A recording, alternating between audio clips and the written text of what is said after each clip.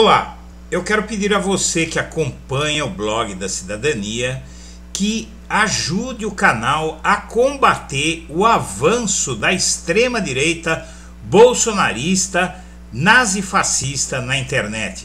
O blog da cidadania que está na internet, primeiro em site e agora também no YouTube, desde 2005 a 18 anos, está lutando para chegar aos 500 mil inscritos e combater a força da direita na internet, que a matéria que você acaba de ver atribui a grande investimento em dinheiro, principalmente do bolsonarismo, nos últimos anos. Bom dia, senhoras e senhores. Hoje é 5 de outubro de 2023, são 11 horas da manhã.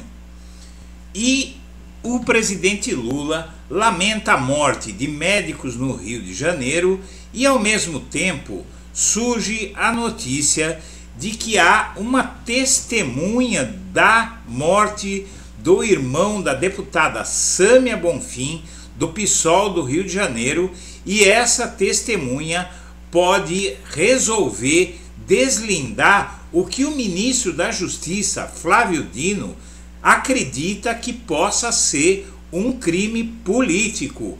Foi uma execução dos três médicos e, na verdade, o que se pensa, o que se imagina é algo ligado ao que aconteceu com Marielle Franco.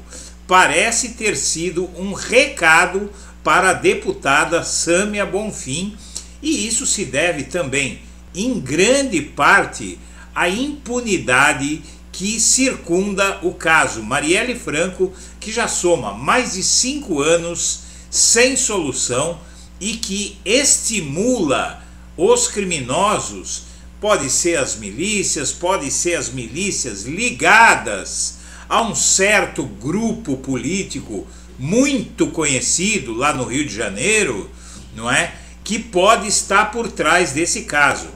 O fato é que três médicos foram mortos na madrugada desta quinta-feira em um quiosque na Barra da Tijuca e o presidente Lula diz: recebi com grande tristeza e indignação a notícia da execução de Diego Raul Bonfim, que é irmão da deputada Sâmia Bonfim.